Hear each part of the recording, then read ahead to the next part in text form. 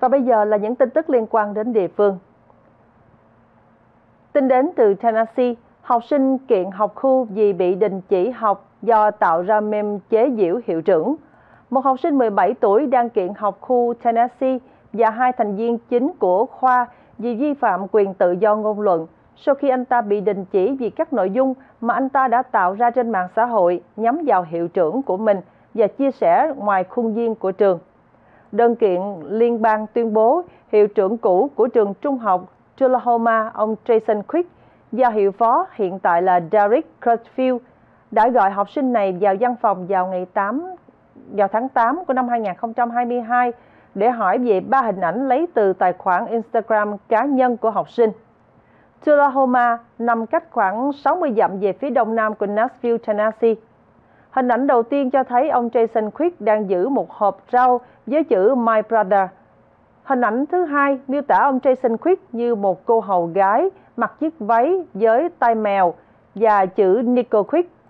Hình thứ ba cho thấy đầu của ông Jason Quick được ghép lên một nhân vật từ trò chơi video Among Us. Hiệu trưởng Jason Quick và hiệu phó ban đầu đã đình chỉ học sinh 5 ngày, nhưng sau khi gặp gỡ phụ huynh, hình phạt đã được giảm xuống còn 3 ngày, tương đương với xử phạt một cuộc đánh nhau. Đơn kiện khẳng định học sinh này có quyền theo hiến pháp để chế giễu hoặc phê phán các giới chức chính phủ mà không sợ bị trả thù. Theo đơn kiện, hiệu trưởng Jason Quick đã dựa vào hai chính sách của trường học thành phố Tullahoma để đình chỉ học sinh. Đơn kiện cũng cho biết các học sinh sẽ lo lắng khi muốn đăng nội dung không gây rối trên mạng xã hội nhưng có nội dung liên quan đến học khu có thể sẽ phải đối mặt với kỷ luật. Công ty bảo hiểm y tế tặng 750.000 Mỹ Kim để trợ giúp sức khỏe tâm thần cho học khu Tây Nam Virginia. Công ty bảo hiểm y tế Anthem, Blue Cross và Blue Shield vừa công bố sự hợp tác với tổ chức cộng đồng các trường học cao nguyên Appalachian trong 3 năm với mức đầu tư là 750.000 Mỹ Kim để tạo ra các chương trình trợ giúp cho hơn 20.000 em học sinh từ bậc tiểu học cho tới bậc trung học.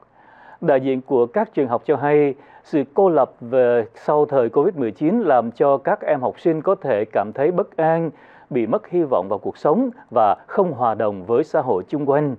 Do đó, các em gặp phải những vấn đề về tâm lý ở học đường có thể phá vách nhiều hơn, sử dụng chất gây nghiện nên cần có sự giúp đỡ cấp thiết.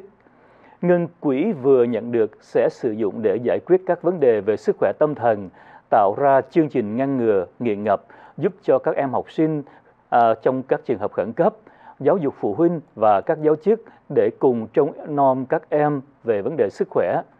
Trong giai đoạn đầu sẽ có 8 học khu ở vùng Tây Nam Virginia được thực hiện các chương trình về sức khỏe tâm lý học đường bao gồm Dickinson của thành phố Northern, kế đến là Wise, Tazewell, Russell, Smith, Washington và thành phố Bristol. Người Việt Nam sinh sống trong vùng Tây Nam của Virginia tuy không đông bằng ở phía Bắc của tiểu bang này, thế nhưng cũng cư ngụ rải rác đây đó trong các học khu này. Các học khu thường có tài liệu bằng Việt ngữ cũng như các thứ tiếng khác ngoài tiếng Anh để phục vụ cho gia đình của các em học sinh thuộc các sắc tộc thiểu số. Và thưa quý vị, bây giờ là phần tin sổ số. 910 triệu đô la độc đắc Mega Millions vì chưa ai trúng vào đêm thứ ba vừa qua.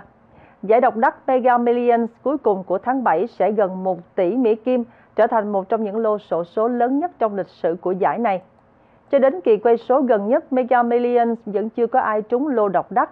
Các con số sổ vào đêm thứ ba là số 3, 5, 6, 44, 61 và quả banh vàng Mega Ball là số 25. Không có vé nào bán ra trúng hết những con số đó để giành 820 triệu Mỹ Kim. Thứ sáu tới đây sẽ sổ lô độc đắc là khoảng 910 triệu Mỹ Kim. Người trúng giải có thể nhận tiền trả góp trong nhiều năm hoặc lấy luôn một lần khoảng gần 400, xin lỗi quý vị, khoảng gần 500 triệu Mỹ Kim.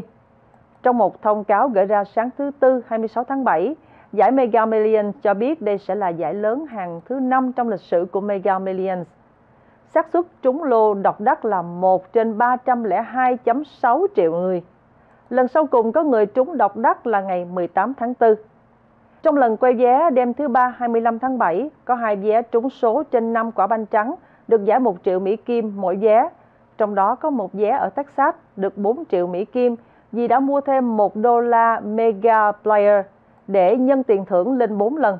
Còn vé kia ở Maryland nghe ờ, thanh trúc đọc những con số này thấy hấp dẫn quá nhưng mà cái tỷ lệ thì rất khó trúng ha thanh trúc dạ. mình cứ nghĩ là dân số của nước mỹ mình là trên 333 triệu người thì một chiếc vé số này phải đấu với hơn 333 hơn 300, triệu. triệu vé dạ. không? cho nên rất là khó không? Dạ. dạ thì cái đó thì em nghĩ là trời cho thôi anh nhỉ? À, và nó khó như vậy cho nên mình chỉ mua chừng vài đồng chơi cho vui lấy hình thôi. à, đừng có mê vào vé số. Dạ. À, dạ.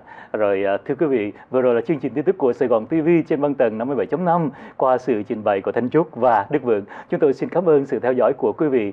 Quý vị có thể xem lại các chương trình của Sài Gòn TV trên Vietchannel app trên YouTube hoặc trên Facebook ở địa chỉ Sài Gòn TV 57.5 Xin cảm ơn quý vị, kính chúc quý vị và gia đình thật nhiều bình an. Kính chào tạm biệt.